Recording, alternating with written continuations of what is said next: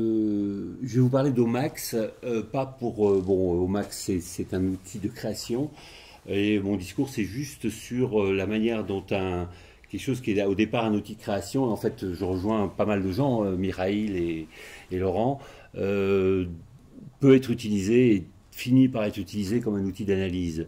Alors bon, je pense que beaucoup de gens d'entre vous connaissent Omax, donc il va y avoir pas mal de redites, donc je vais essayer de passer assez vite sur la description du principe d'Omax.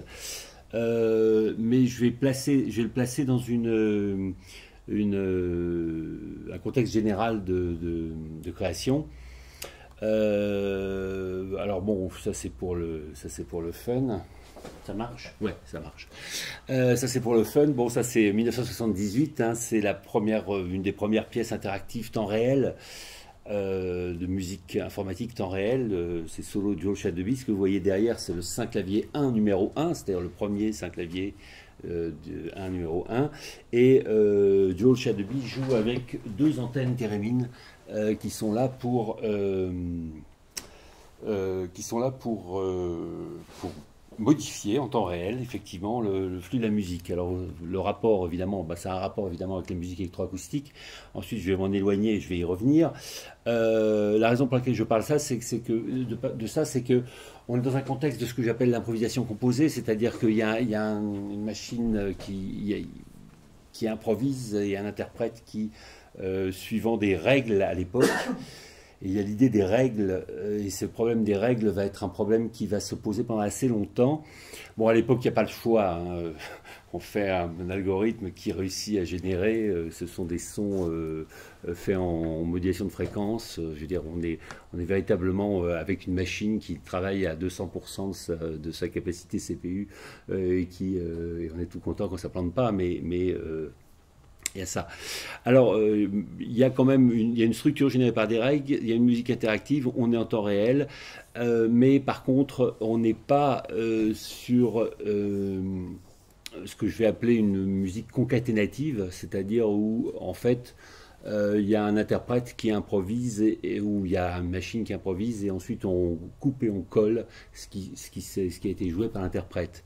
Alors, la musique con- concaténative va arriver pas très longtemps après, euh, toujours c'est-à-dire sur des, sur des musiques par des règles, mais à partir de, de, de, musiques qui sont euh, jouées par des interprètes et ensuite récupérées. Alors bon, euh, on pense au système de George Lewis, Voyager. Bon, parlons-en, en 1986, j'ai fait une des premières pièces qui s'appelait Jimmy Durante Boulevard, qui était une pièce con- concaténative qui utilisait des, des notes de trompette jouées et qui, à partir de ça, créait des structures en copiant, collant et en et décréant des structures. Mais c'était toujours par règle. Euh, alors, la chose a changé dans les années 2000 parce qu'il y a la, Oui, ça marche, ça m'étonne toujours quand ça marche. Euh, il y a la réinjection stylistique qui va, qui va se, se placer. Alors, l'idée de la réinjection stylistique, c'est donc, on passe, on passe sur un autre paradigme, c'est-à-dire qu'on on va partir d'un répertoire, et c'est à partir de ce répertoire qu'on va coller. Alors, c'est amusant parce que euh, on parle donc de musique électroacoustique, et là, je vous présente même pas, pas de la musique, pas électroacoustique et un texte. Et euh, ce qui va se passer, c'est le texte. Alors, vous oubliez évidemment les petits numéros que j'ai mis moi. Euh, le texte, c'est donc un texte de, Beckett, hein, qui s'appelle Ping, euh, qui est un texte assez poétique. Et si vous regardez un peu le texte, vous voyez qu'il a beaucoup, beaucoup, beaucoup de, redondance. Alors, et l'idée de la redondance, c'est qu'on crée un dictionnaire. Alors, à l'époque, par des, par des, systèmes genre l'impulsif, qui sont pas des systèmes euh, réel, mais qui étaient les, vous savez, les systèmes de, compression. Et puis, on, avec ce type de dictionnaire, eh bien, on, on voit euh, les occurrences qui reviennent le plus souvent et on saute d'une occurrence à l'autre. Et donc, on peut créer ce, ce- texte en bas, c'est du pseudo Beckett, ça ressemble terriblement à Ping, mais ça, ça ne l'est pas. Alors, vous voyez, on démarre, on démarre n'importe où, par exemple ici, et une fois qu'on a démarré là, on trouve que euh, Only Just se trouve, euh, vous voyez, juste là. Et donc on dit, bah, ça c'est un bon contexte, donc on peut sauter de là, euh, ici, et voilà, et on arrive euh, ensuite à Lighthead, au numéro 2, c'est pour ça que je l'ai mis, et on trouve que Lighthead se trouve au début de la quatrième ligne, etc. Et on continue. Alors vous voyez que ça marche bien parce qu'on a des, des normes euh, contextes, c'est-à-dire qu'on a des contextes, en l'occurrence, qui sont de plus de deux mots, et euh, même parfois, vous voyez ici comme ici, euh, de quatre mots. Et donc, on arrive à faire un texte qui, effectivement, a quelque chose d'assez chouettement beckettien. Alors, on peut faire ça aussi avec des... on peut aussi faire ça avec des de, la musique et des hauteurs. Alors j'ai un exemple que je passe toujours, qui est celui-là. Euh, j'espère que ça va marcher parce que ça, c'est ça en général. Ah oui, euh, j'ai pas de son, mais ça c'est normal. Non, c'est pas, Ah oui, c'est. Alors ça c'est le. À partir du, c'est bien Pastorius. Euh, à partir du du solo de Jaco Pastorius sur Donali, on, j'ai pas beaucoup de niveaux je vais arranger ça.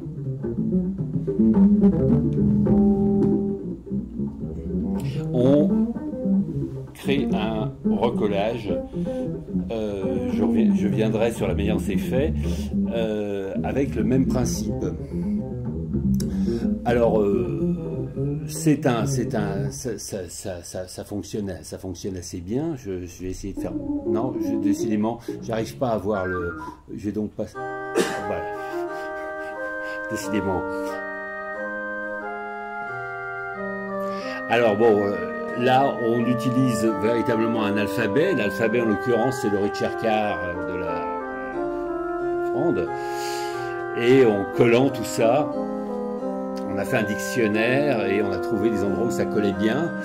Alors au bout d'un certain temps on se rend compte que c'est pas de bac parce que ça va vraiment nulle part. Entre nous, ça n'est que des notes de bac. Hein. Il n'y a aucune note n'a pas été écrite par Bach, mais euh, ça commence à ça commence à tourner un peu en rond. Hein. Alors l'autre truc, c'est qu'on n'a jamais à s'arrêter dans ces trucs-là. Alors bon, il se trouve que là, dans cet extrait, qui est un extrait qu'on montre toujours parce que c'était le bon, euh, à un moment, on avait, il se produit que euh, que le thème arrive et que on est tout content parce qu'on se dit, voilà, les gens vont se dire, Damned, c'est formidable. Bon. Et là, on est complètement dans un, dans un petit bout de, de bac. Euh, cela dit, euh, voilà, alors on est dans le collage et on est dans un collage symbolique. Euh, je, vous, passe un petit peu. on est dans un collage symbolique et donc toujours quel rapport avec la musique électroacoustique? Pour l'instant aucun, c'est-à-dire qu'on est en train de travailler sur des alphabets. On travaille sur, ici, on a travaillé d'abord sur des alphabets de, lettres, ce qui est assez banal euh, pour Beckett, et là on travaille sur des alphabets de notes, euh, et donc on est toujours dans du, dans du, symbolique. Et euh, simplement, on, a monté avec Omax euh, un. Alors là, j'ai un, transparent nul où il y a tout ce que je vais dire. Alors je vais, vous pas, je vais appuyer tout de suite euh, sur tous les machins parce que ça, c'est complètement débile. Je déteste ça. C'est pas comme ça les transparents, mais voilà. Ça y est, j'ai dit, j'aurais dû enlever tous ces machins. On a donc des langages formels dont le but est de, capter des paramètres pertinents d'un style donné. Alors là où on est dans un outil de production, et c'est ça qui est très intéressant, c'est qu'on apprend la séquence à la volée, et euh, tous les exemples que je vous ai montrés auparavant ne sont pas du tout faits à la volée, c'est fait euh, avec une analyse complète du corpus. Alors Michael là-dessus a été très très euh, très éloquent, et il faut vraiment le dire, il y a un aspect dans l'analyse qui est non causal, qui est, vraiment non causal. Hein quand on analyse une œuvre, on connaît toute l'œuvre. Euh, donc euh, c'est bien joli le temps réel, on adore tout ça, hein, on avance et puis, euh, sauf que il y a un moment où on est arrivé au bout, on s'est dit ah merde, je me suis trompé, en fait, on, recommence tout. Donc là, évidemment, comme il s'agit d'un outil d'improvisation assisté par ordinateur, on voulait absolument une, certaine causalité, en tout cas que on puisse apprendre la séquence à la volée au moment où le au moment euh, où l'interprète joue. Et euh, la dernière chose, c'est qu'on voulait un apprentissage agnostique, c'est-à-dire qu'on puisse euh, utiliser le même procédé à la fois pour travailler sur des lettres sur Beckett et sur des notes pour Bach ou sur d'autres choses, et je vais y venir. Euh, j'essaie d'aller vite parce que je voudrais réussir à, parler un petit peu des, descripteurs parce que j'ai quelque chose à dire sur les descripteurs euh, qui, me, troublent beaucoup. Alors, donc la classification est réalisée à la volée et on utilise un système de similarité contextuelle. C'est ce que j'ai expliqué avec Beckett. On trouve les mêmes mots, on trouve les mêmes notes et là, ça nous permet de sauter à un autre endroit du corpus. Alors ça, c'est assez important. Euh, bon, le mot, le mot, les, deux mots intéressants, c'est le mot agnostique, en dépit du fait que c'est un horrible anglicisme. Ça veut dire, ça veut dire sans a priori stylistique. Ça, c'est la traduction en français. Et euh, l'autre chose, c'est que on, arrive éventuellement à faire quelque chose, à, faire quelque chose qui a fonctionné. Alors. Euh, ce qui est intéressant, c'est comment est-ce qu'on va passer du symbolique au sonore, puisqu'on est quand même dans un, on est véritablement dans un, dans un, euh, on, parle, est ici pour parler de musique électroacoustique. Alors historiquement, euh, excusez-moi, c'est idiot de parler d'histoire pour un truc qui a dit qu'il a 8 ans, mais enfin bon, c'est pas grave. Hein. Euh, passage du symbolique au, sonore, encore un, un, transparent débile. On a une, au départ, euh, au max a fonctionné en MIDI. Donc on était complètement dans du symbolique, on était véritablement dans des notes qu'on coupait en tranches d'ailleurs, sur un système assez malin. Euh, et, euh, et, alors, on est passé au son en faisant ce qu'on appelait du MIDI augmenté, c'est-à-dire que on faisait de la détection de hauteur sur des fichiers monophoniques et on faisait correspondre à, cette fameuse description MIDI l'adresse dans un, dans un fichier audio. Donc vous rajoutez, vous dites, ben voilà, c'est un Do 60, euh, euh, euh, vélocité 100, et adresse 12472 sur le fichier truc.aif. Voilà. Et avec ça, on on faisait la, recombinaison correspondait à un montage temps réel qui a été fait. Alors c'est la première fois. Alors pour ça, bon, on a on utilisé un système que, qui est Yin que j'ai que j'ai modifié. C'est pour ça qu'on appelle ça Yin GB. Je suis désolé de mon ce côté mégalo euh, de la chose, euh, qui est en fait. Alors c'est très intéressant parce que c'est un c'est un Yin qui travaille à l'envers, c'est-à-dire c'est un Yin non causal. C'est un Yin. Alors c'est un, un, truc qui a du retard, ce qui est pas très grave pour un système d'improvisation. C'est-à-dire qu'on a une cinquantaine, une soixantaine de millisecondes de retard et on a 60 millisecondes pour, pour déterminer si la, hauteur euh, détectée par le yin est la bonne ou non. Ça marche pas mal, c'est un, système de détection qui fonctionne vraiment assez bien. Ceci dit, ça fonctionne comme monophonique et tout et tout, mais bon, alors ça, ça permet de faire du temps réel, modulo un petit retard, mais on s'en fout puisque on, recombine ce qui a été fait. Mais euh, on est toujours dans du symbolique, puisqu'on a transformé le son en symbolique, hein. on est dans des hauteurs. Alors, bien évidemment, on est passé, et c'est là où le mot magique arrive, à une version spectrale en, 2007, avec les célèbres descripteurs. Alors, je voudrais parler des célèbres descripteurs parce qu'il y, a quand même un truc euh, à propos des descripteurs qui est, que euh, les descripteurs, c'est un peu le, tout et, tout et n'importe quoi, dans le sens où euh, le rapport je, suis très gêné, c'est une manière de, poser la question que je voulais poser, que je voulais poser à Mireille, quand, quelqu'un me dit qu'il y a un descripteur pour la rugosité. Euh, j'ai un problème, moi, avec ça. C'est-à-dire que les, études sur les descripteurs et sur les, sur les, études perceptives sur les descripteurs, il y en a extrêmement peu, et vraiment très peu. Euh, en fait, euh, on revient tout le temps à la fameuse étude de, de Gray, et c'est bien pour ça qu'on utilise le centroïde spectral, la largeur du centroïde, parce que les études de Gray disent que ça permet, c'est une des, méthodes qui permet le plus de, distinguer les spectres. Et ça, c'est une étude de bon.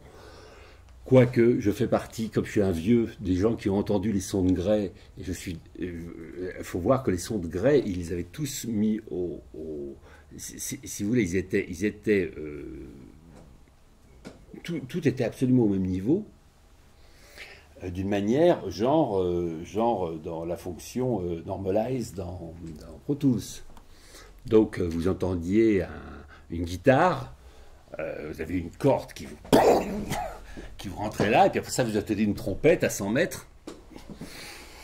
Parce que la trompette à 100 mètres faisait autant de bruit que la guitare qui, j'exagère parce que la guitare c'est pas vrai parce que la guitare il y a l'attaque, donc ça allait à peu près la guitare. Je, je prendre un, exemple, une flûte par exemple.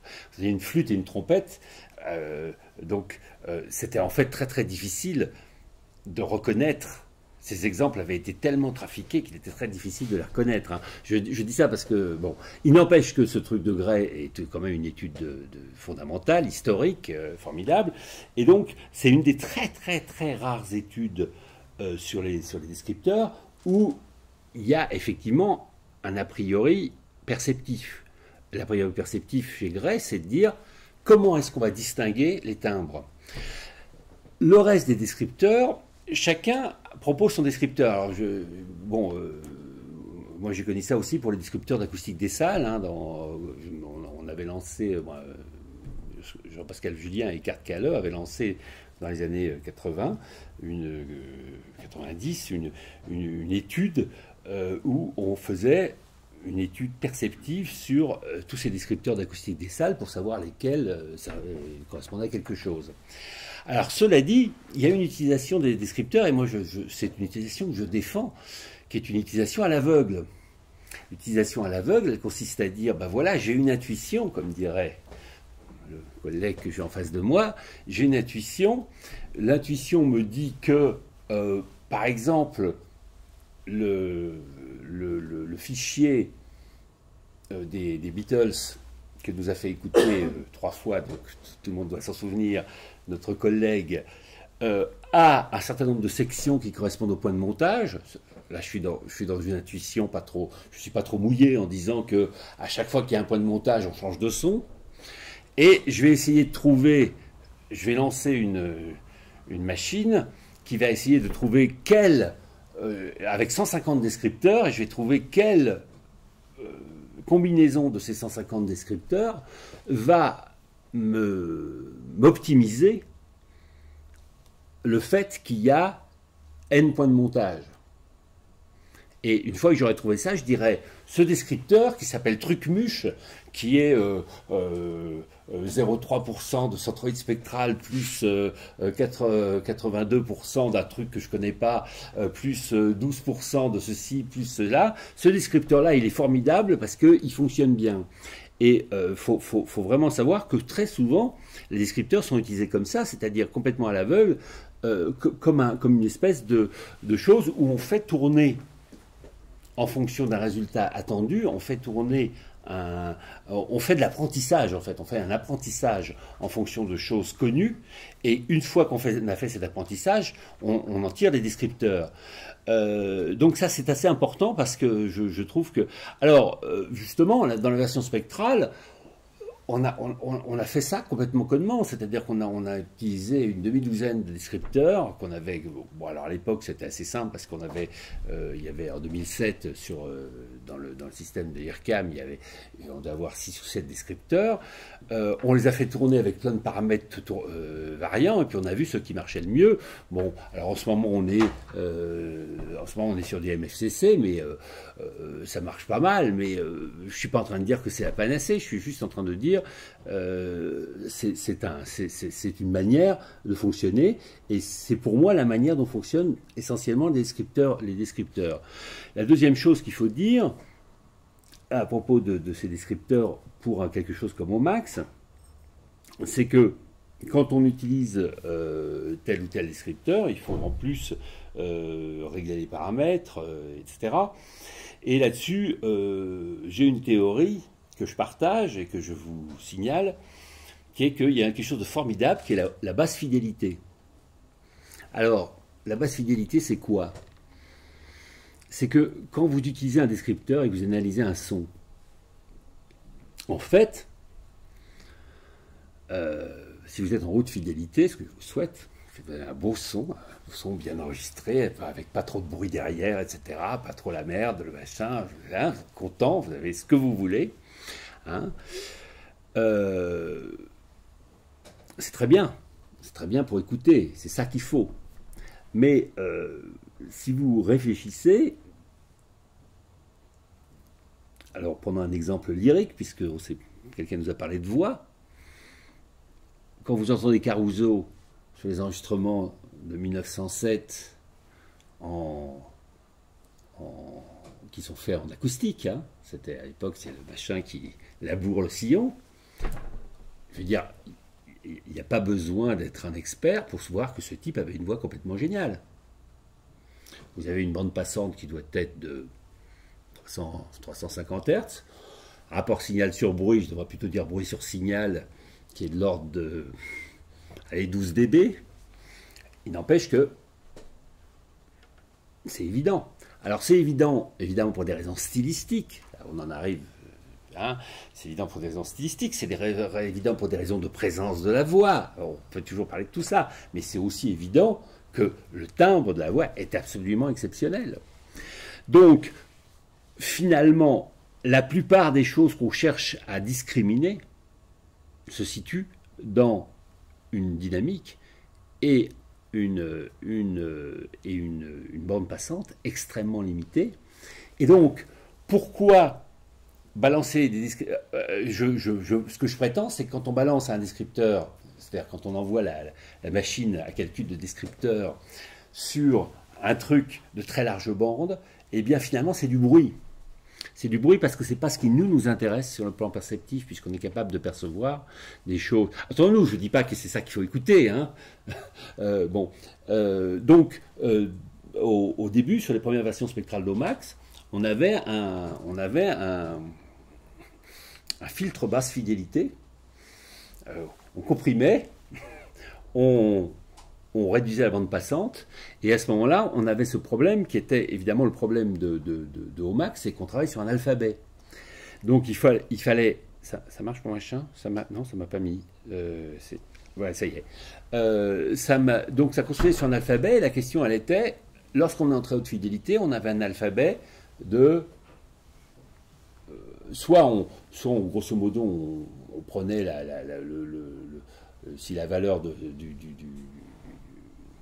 pardon, si la valeur du, descripteur variait entre 0 et 1, on prenait, on, prenait entre 0,5 et plus, plus, de 0,5 et moins de 0,5, et on était quand même dans, quelque chose de très grossier, euh, soit euh, on,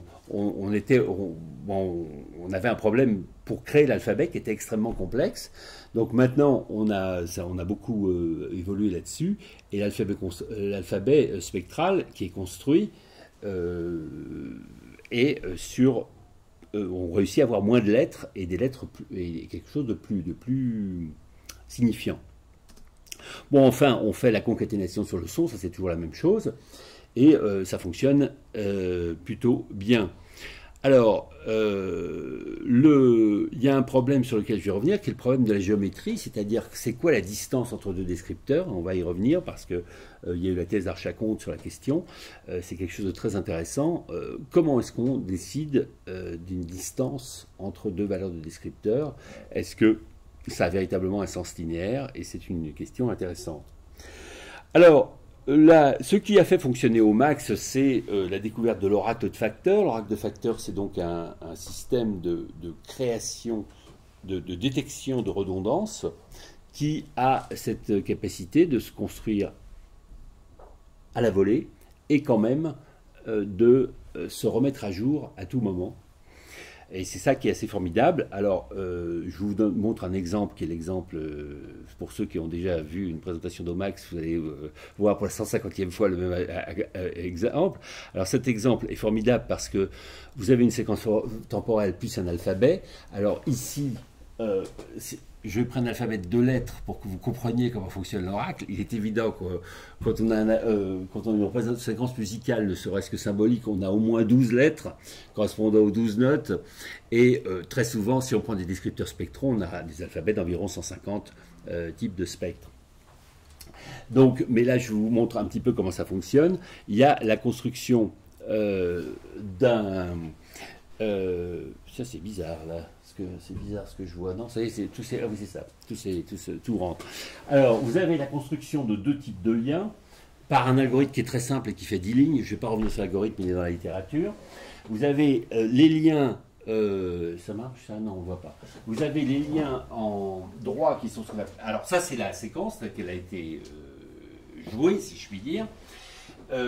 ça, ce sont des liens qui permettent de retrouver des, choses comme BAA qui se trouve là va, être, on peut le retrouver de cette manière-là. Et les liens en pointillés sont beaucoup plus intéressants, c'est ce qu'on appelle les liens suffixes.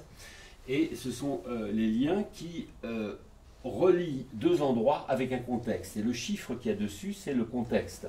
Alors je vous donne un exemple. Ici, cet endroit-là est assez intéressant puisque euh, quand vous êtes là, avant vous avez AB, quand vous êtes ici, avant vous avez AB. Donc vous avez un contexte de 2.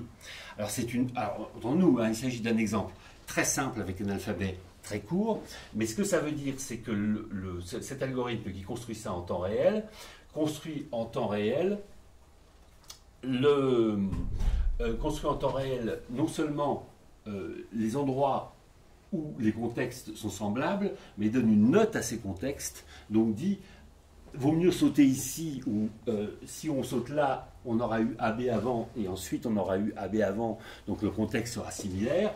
Si je saute euh, ici, par exemple, j'aurais eu A avant et ici A avant, donc le contexte est certes similaire, mais c'est quand même un petit peu moins sympa.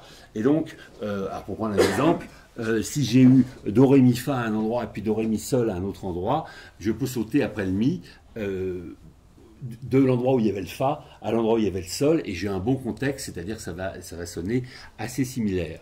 Alors là, l'autre chose qu'il faut remarquer à propos de, l'oracle de facteur, c'est que ce n'est pas parfait. Euh, vous avez ce truc rouge, et ce truc rouge, euh, euh, c'est un A, donc, avec ces liens qui s'appellent les liens préfixes, on crée un mot qui n'existe pas. C'est-à-dire que dans mon machin, on n'a jamais joué ABA, mais moi, euh, en, construisant mon graphe, il y a une connerie qui est que je crée un mot qui n'existe pas. Donc c'est pas parfait, hein.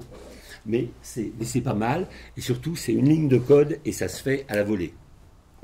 Alors, euh, ce qui est très impressionnant, c'est qu'avec euh, l'oracle, on réussit assez vite à obtenir, par exemple, des choses avec, un, avec un, système de type linéaire on obtient euh, l'équivalent, euh, je vais vous montrer, l'équivalent de matrice de similarité, euh, donc avec une réduction de temps de calcul absolument énorme.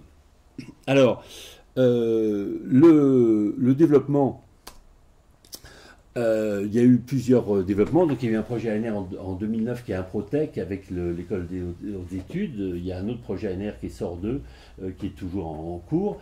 Et euh, il y a la thèse de, Benjamin qui s'appelle euh, Visualiser au max, où on ajoute de l'anticipation. Et ce que va faire euh, Benjamin, c'est proposer des modes de, des modes de, visualisation des, des répétitions. Alors ça c'est assez simple, hein. les liens que vous voyez, ce sont les liens suffixes, et plus ils sont noirs, mieux ils sont. Ah, c'est-à-dire, si c'est un contexte petit, c'est très, c'est quasiment blanc, et si c'est si noir foncé, euh, euh, c'est super, il y a un super contexte. Alors ça, ça permet de savoir, lorsque, si ça c'est ce que l'improvisateur a joué, on voit, le, on voit le, programme qui se balade et on sait quand il va arriver là, il, a une chance de sauter là. D'ailleurs, il, nous l'annonce.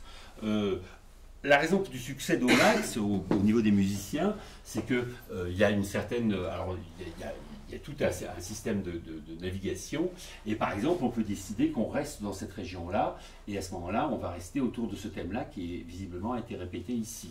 Donc, on peut décider qu'à un certain moment, on reste là-dessus il improvise juste dans cette région-là. Donc, c'est un, programme extrêmement, euh, qui, au niveau de l'utilisation, est assez chouette. Mais cela dit, c'est là où on arrive quand même dans quelque chose de l'ordre de l'analyse. Ça, c'est une analyse c'est une analyse des répétitions, et c'est une analyse des répétitions spectrales qui se fait euh, de manière euh, euh, extrêmement élégante et rapide.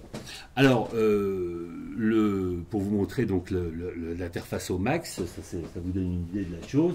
Donc, vous avez un certain nombre d'improvisateurs euh, des improvisateurs, ce sont des choses qui, parcourent les oracles. On peut avoir plusieurs oracles et on parcourt, euh, tous ces oracles.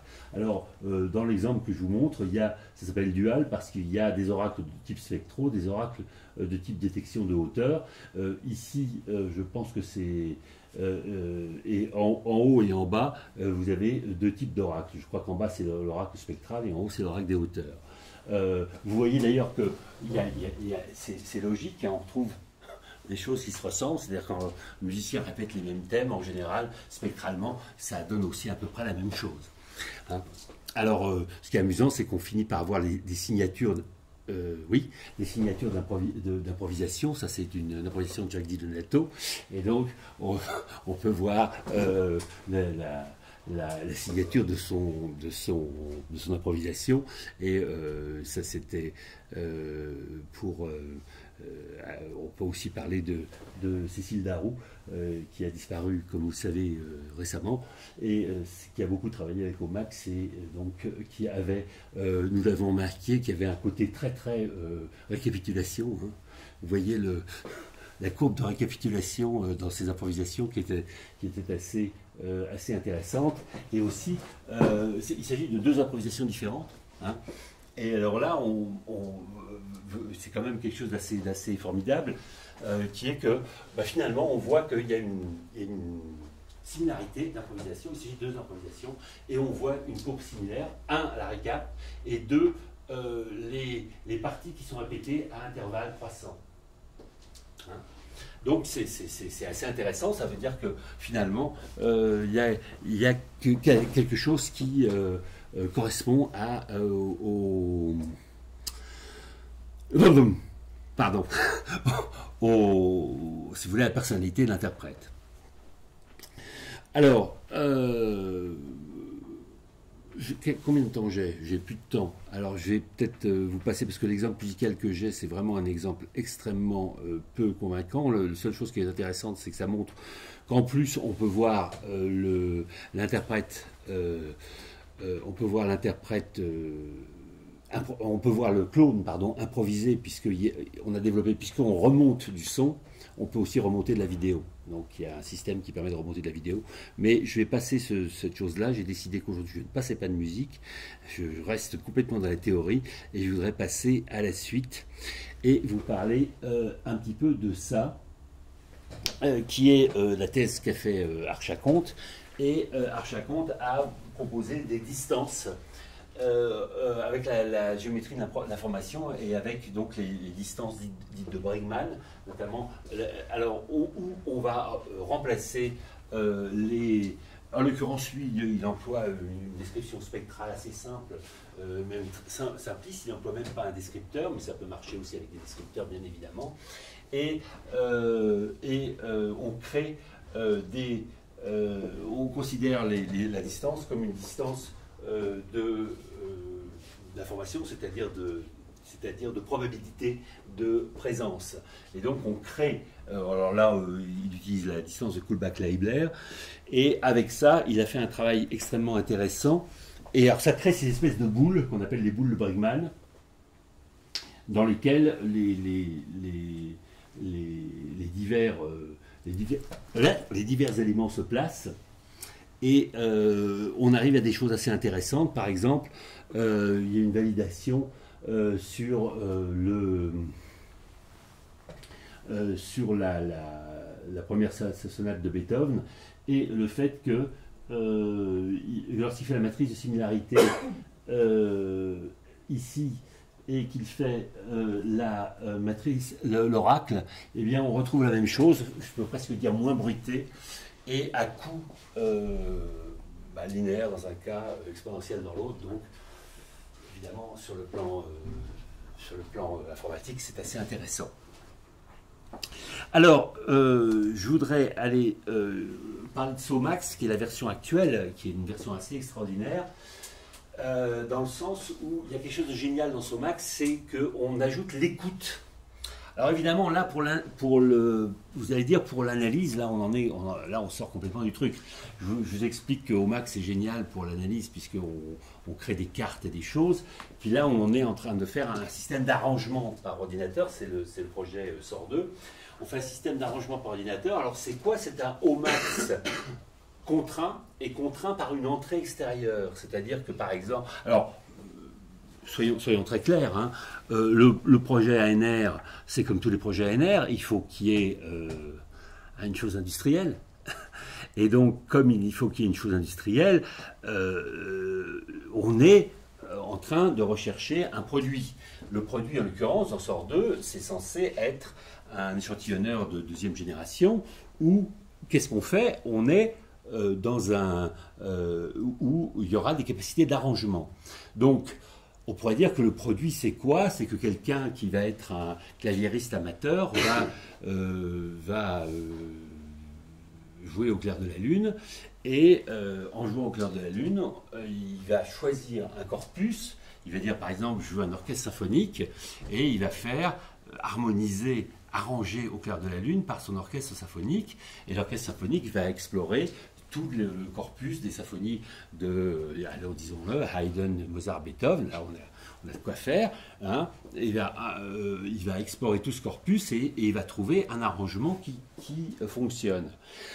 On n'est pas tout à fait dans la, dans la logique au max parce que euh, c'est là où il y a une contrainte, c'est que la contrainte elle est extérieure, c'est-à-dire que la contrainte elle est que non seulement on se promène sur notre corpus de, Beethoven ou de Mozart, mais on se, promène, mais il faut que ça corresponde à des notes qui rentrent. Et ces notes qui rentrent, évidemment, on ne les connaît pas puisque euh, la personne est en train de jouer. Alors, euh, donc, l'idée, c'est d'une contrainte euh, extérieure et, et donc de, trouver donc, des espèces de modèles d'interaction et euh, la première chose qu'on a faite, évidemment, c'est la prise en compte du rythme, qui est le grand défaut de Omax. Euh, alors là, c'est facile, c'est pas facile, mais c'est déjà plus facile puisque le corpus, on connaît le rythme du corpus. Nos symphonies de, Beethoven, elles ont un tempo. Alors, euh, bon, on peut dire qu'on n'est pas très sûr du tempo, ceci, cela, mais on, sait quand même que certains mouvements sont rapides, d'autres sont lents, et on peut donner un tempo ou une fourchette de tempo comment dire, euh, crédible. Et donc, euh, il y a cette chose-là. Et la deuxième chose, c'est, comme grâce aux travaux de Large, la détection du rythme commence à fonctionner assez bien. Et donc, on peut détecter le rythme de la, chose et obliger l'accompagnateur à jouer au même rythme. Alors ça, c'est la première chose, mais qu'est-ce que ça veut dire? Ça veut dire qu'il y a plusieurs agents et qu'il y a des agents qui écoutent et des agents qui improvisent. Alors ça, bizarrement, je pense que c'est très intéressant en analyse. C'est bizarre que ça puisse paraître, puisque là je parle de quelque chose qui est vraiment une machine à arranger ou une machine à improviser, donc on est, complètement dans la création. Je pense que c'est très intéressant dans l'analyse parce que ces agents peuvent, euh, qui, qui, écoutent et qui génèrent des contraintes, eh bien, euh, alors d'abord, l'architecture de Somax euh, qui a été faite par euh, Laurent Bonesgao est une architecture très, très, très intéressante parce que on peut mettre autant d'agents qu'on veut, on peut leur donner les contraintes qu'on veut, c'est-à-dire qu'on peut avoir un agent qui est... Euh, alors, si vous voulez, c'est assez logique. Dans un ensemble de rock, en théorie, en théorie, c'est pas toujours le cas, c'est le batteur qui s'occupe du rythme. Donc on peut avoir l'agent batteur, l'agent batteur, c'est lui qui donne le rythme. Et donc, on peut dire, je vais prendre euh, pour euh, le batteur, je vais prendre une ligne de batterie de quelque chose et je vais obliger mon improvisation à être, à suivre ce batteur. On peut évidemment mettre un vrai batteur. Ça peut être un agent, ça peut être un vrai batteur hein, avec un détecteur de rythme, et puis on suit le vrai batteur et on oblige les choses à improviser là-dessus. Par contre, on peut aussi avoir deux improvisateurs qui s'écoutent rythmiquement hein, et à ce moment-là, il y a un système de boucle qui se met en place, mais où, en général, ils finissent par se mettre d'accord, ça, marche assez bien. Euh, et euh, donc, euh, ça, c'est assez intéressant parce que, sur le plan analytique, parce que ça permet justement de tester, des, de tester des hypothèses, des intuitions, comme dire quelqu'un que je connais. Ça permet de tester des hypothèses, c'est-à-dire qu'on peut avoir un agent qui impose une hypothèse, qui impose une écriture, et le euh, faire tourner sur le corpus. Enfin, la dernière chose qui est assez formidable dans, dans c'est pas la dernière chose, c'est dans, Somax, c'est qu'il y a des contraintes dures et des contraintes molles. Et ça, c'est très intéressant, c'est-à-dire le fait que de temps en temps, on peut euh, une contrainte, on, peut dire, ben voilà. Alors, parmi les contraintes, euh, une des contraintes classiques de, de, Somax, puisque c'est encore une fois c'est un problème de, c'est un programme théoriquement d'arrangement, c'est est-ce que la note qui est jouée dans le cas toujours de la personne qui joue au clair de la Lune et qui se fait accompagner par les symphonies de Beethoven, est-ce que la note qui est jouée doit absolument être dans le dans l'accord de la symphonie de Beethoven? Et on peut, on peut avoir plusieurs stratégies, et notamment on peut avoir une stratégie qui dit que si c'est sur un temps fort, oui, si c'est pas sur le temps, pourquoi pas d'avoir un truc de passage tant qu'on tombe sur ses pieds? Enfin, euh, donc, c'est euh, ce, dont j'ai parlé, euh, il y a une architecture multi-agent et plusieurs types d'écoute et de propagation de contraintes. Donc, on, a une, architecture qui, se met en place, qui pour l'instant, alors, maintenant je reviens en arrière, c'est génial, max, sauf que pour l'instant, ça fonctionne qu'en midi. Mais donc, ça ne fonctionne pas du tout pour la musique électroacoustique. Simplement, en fait, je pense que dans trois mois, ça va fonctionner euh, pour, euh, avec des descripteurs. Pourquoi? Parce que, en fait, Somax, c'est au max. Et donc, on a, développé les choses beaucoup, beaucoup, beaucoup, beaucoup sur MIDI parce que ça va très vite. Et simplement, on a à côté un moteur au max qui, lui, fonctionne en spectral. Et donc, on peut imaginer que tout ça va fonctionner euh, en, spectral. Alors, je vais m'arrêter là. Ce que je voulais simplement dire, c'est que euh, ce qui est intéressant, moi, ce qui, m'excite dans le projet OMAX, c'est que c'est en fait c'est un projet qui est à la fois porté donc par des trucs ANR, par des, par des chercheurs, par des équipes de chercheurs, et puis euh, par l'IRCAM, par le conservatoire maintenant, par d'autres choses. Et puis, en même temps, c'est porté par des musiciens. Et c'est ça qui fait que ça a beaucoup avancé. C'est-à-dire qu'on a, on a des musiciens qui jouent, on a beaucoup de musiciens qui ont joué avec. Et c'est ça qui ces gens-là, euh, et notamment des musiciens très différents. Si vous voulez, bon, il y a Luba, euh, qui est le, un peu le papa d'Omax, il joue avec depuis 10 ans, il a joué avec les prototypes. Euh, Luba est un, saint parce qu'il a joué avec des trucs qui marchaient vraiment pas du tout. Hein. Et il a trouvé ça génial. Il était là, il disait oh, mais c'est génial votre truc. Alors, on disait tu crois vraiment Bernard Il était gentil quoi, mais, mais ça excitait quoi. Mais il y a mais il y a aussi des gens, Médéric Collignon, Cécile Laroux, donc, euh, euh, euh, donc des, gens vraiment assez différents. Et, donc, et on a même fait le pire avec des organismes du conservatoire, donc la projection à l'orgue dans la grande tradition française. Hein, connaissez la chanson à Marcel Dupré, Marcel Dupré, The Spies, that's hard as shit to play. Euh, c'est ça la célèbre rime. Hein. Euh, donc, de la grande tradition française. Du, du, de, et euh, tous ces gens-là sont contents parce que justement, il y a ce fameux côté agnostique, ce côté non. donc, quand on fait de la, de, la projection avec un orgue, eh bien, ça sonne comme un orgue et ça sonne dans le style de la personne qui joue. C'est pas parfait, mais euh, ça fonctionne. Et donc, ça donne un indice qu'on est sur quelque chose qui est intéressant. Je vous remercie.